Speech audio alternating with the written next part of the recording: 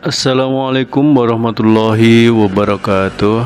See you again in this channel. Alhamdulillahi Rabbil Alamin. Okay my friends Here we have one computer.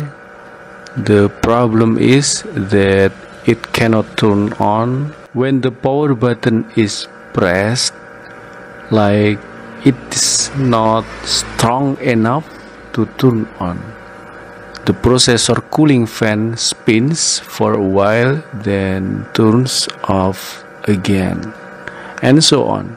And of course, on the monitor screen, there is no display or image appears because it hasn't had time to turn on yet, it's dead again. Okay, brother, please watch this video until the end to find out the cause and the solution of this problem.